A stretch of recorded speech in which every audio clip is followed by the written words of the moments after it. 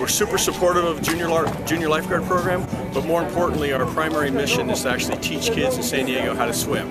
So there's a bunch of kids here are going to be jumping off this pier, uh, all the way down, different sizes.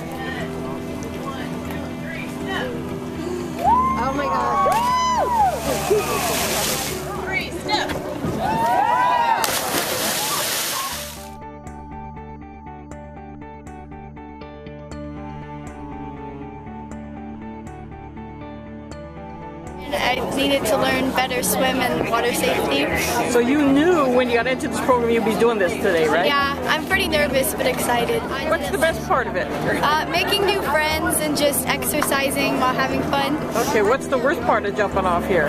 Uh, the height. adrenaline. the adrenaline rush that happens. Yeah, yeah. I've never done this before, so. So how are you like, feeling about it? Uh, I was super excited and super scared at the same time because I don't want to be that one person who like loses their fin or like flies forward and does like hurts myself. The palms of your feet when you hit, it's like oh, I don't like that part. And like the height, it's just it's nerve wracking. One Step. You can do it. Take a single step. Straight out. You can do it.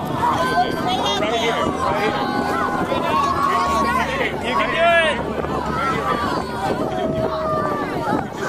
Miss Nelson, she's going to walk you through this. You can trust her, and then you can join your group.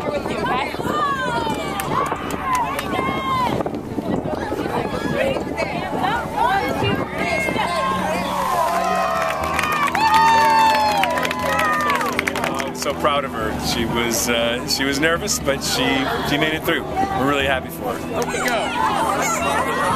Step. Just step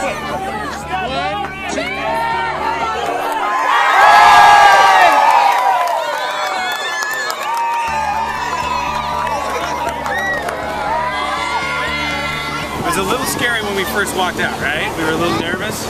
But then once we got out there, we had the eye of the tiger. We decided not to look down. Okay. Straight out.